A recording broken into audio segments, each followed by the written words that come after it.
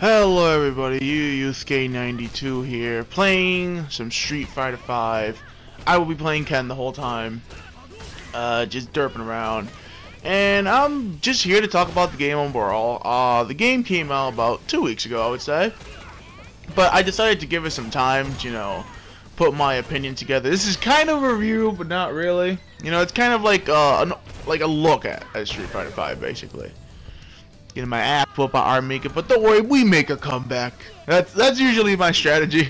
I get my ass kicked always the first round, and then I come back, so I'm like, okay, I know what the person's gonna do, you know, and then I can prepare. That's always been like a little thing of mine. I don't know why. That's how I end up always doing it.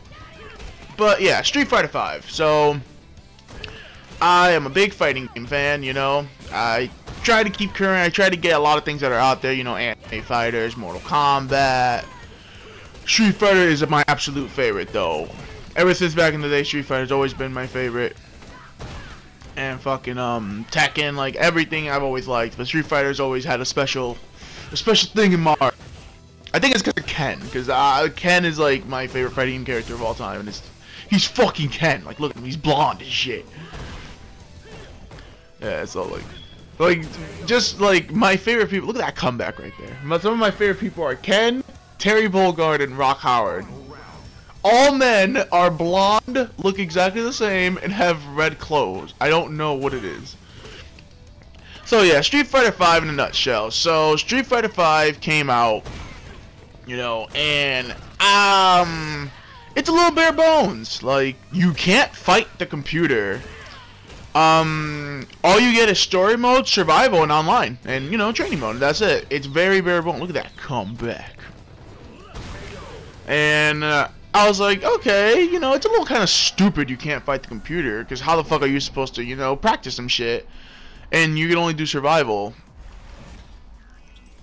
And I was like, okay, that kind of sucks. But this is the thing. Um, so far, the survival is fun. You do survival to get character. You know, you unlock um, you unlock uh, colors. You can unlock the colors by doing survival which is kind of cool, but it gets kind of annoying because like to get the rest of the colors, you have to like fight a hundred people in survival, and like if you lose once, you don't even get a chance. You can buy perks and shit, but you should be able to like to buy a checkpoint maybe, like you know, like hey, I'm spending all my points to buy this checkpoint so I can stay right where I was.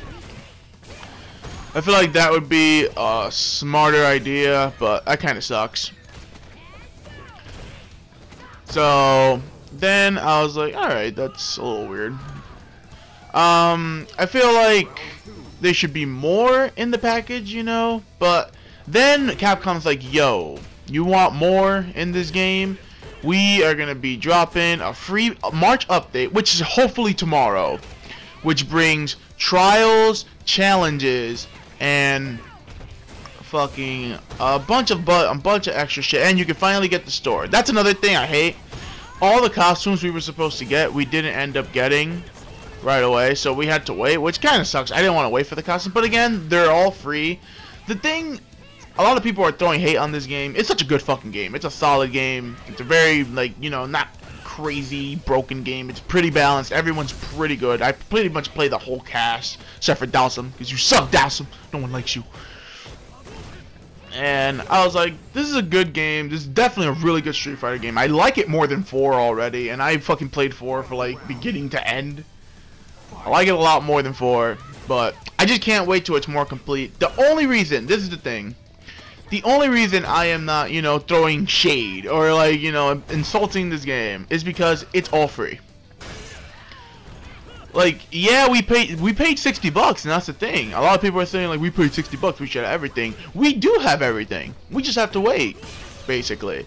We're gonna get our whole package worth. We're gonna get uh, Super Mega Ultra Story Mode in June for free. We're going to get six more characters added, which you can unlock for free. All you have to do is, you know, not be lazy and play the game. Even single player. You can play single player all day and get these characters for free. We're gonna get all these costumes hopefully tomorrow.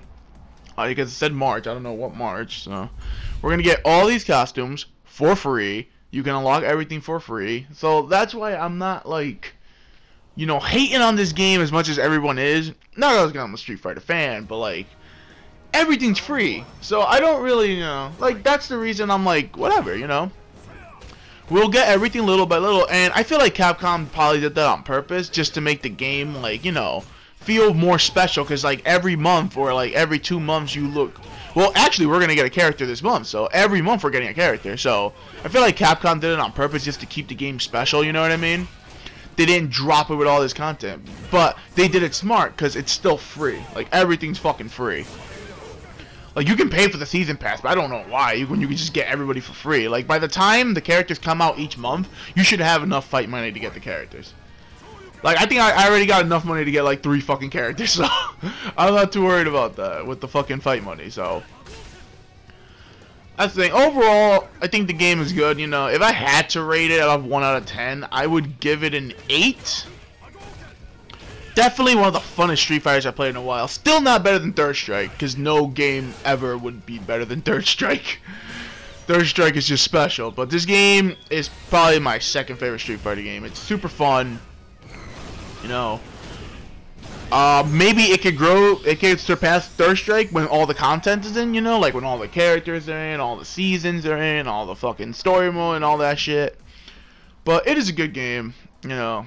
I feel like people should ease up on it a little bit, just a little bit, because like everything's free. Like if, if nothing was like if this was like you see this is why I'm mad at Mortal Kombat. I bought Mortal Kombat day one, sixty dollars. Again, that game has a lot of content. I'm not saying it's not you know lacking stuff content or anything. That game has a lot of shit to do. But I then paid sixty bucks. Then that same day, I paid $30 for my season pass. You know, forget my characters. Then I paid separately $4.99 each costume pack. $3.99 or $4.99. I don't. I think it's $3.99 for each costume pack that I wanted. Overall, I've spent um, probably like a hundred something dollars on Mortal Kombat X, which is an amazing game. Mortal Kombat X is still one of the best fighting games out there for a while. It's definitely the best Mortal Kombat game ever made. I'm like, okay. Then Mortal Kombat XL comes out. You know, the special edition with all the free stuff. I'm like, okay. Well, maybe, you know, then Season 2 comes out. And I'm like, okay, Season 2 is looking pretty cool. Triborg gets the shit. And it's $20 if you want it separate.